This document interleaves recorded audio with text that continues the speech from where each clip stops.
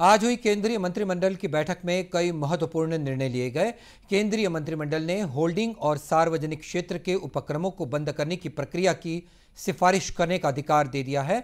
इसी तरह, मंत्रिमंडल ने महारत्न सार्वजनिक क्षेत्र के उद्यमों के होल्डिंग और मूल सार्वजनिक क्षेत्र के उपक्रमों में विनिवेश, हिस्सेदारी की बिक्री के लिए सैद्धांतिक मंजूरी देने के लिए वैकल्पिक तंत्र को अधिकार देने के प्रस्ताव को भी स्वीकृति दे दी है।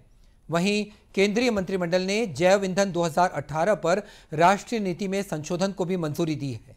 संशोधनों का उद्देश्य जैव ईंधन के उत्पादन के लिए अधिक फ़ीड स्टॉक की अनुमति देना, पेट्रोल में एथेनॉल के 20 प्रतिशत मिश्रण के लक्ष्य को अगले वर्ष 1 अप्रैल तक आगे बढ़ाना और देश में जैव ईंधन के उत्पादन को बढ़ावा देना है। इसके अलावा संशोधन, राष्ट्रीय जैव ईंधन समन्वय समिति में नए सदस्यों को शामिल करने और विशिष्ट मामलों में जैव ईंधन के निर्यात को अनुमति देने के लिए भी है।